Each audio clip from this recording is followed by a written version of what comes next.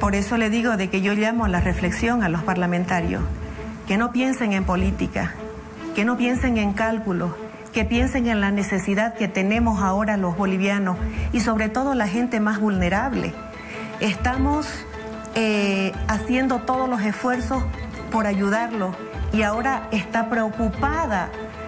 la gente por llevar la comida a su casa porque no tienen plata, porque no están generando ingresos y no puede ser de que la asamblea esté trabando estos créditos que son tan importantes y que son tan necesarios en este momento para todas las familias bolivianas. Por eso insisto,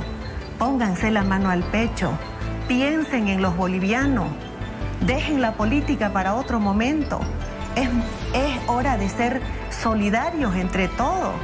y podemos llegar a todos si es que ellos dejan ese eh, capricho o esa mezquindad de estar trabándonos los créditos ahí en la asamblea que ellos tienen, donde ellos tienen los dos tercios y donde están perjudicando no al gobierno, están perjudicando a todos los bolivianos que están necesitando ahora apoyo.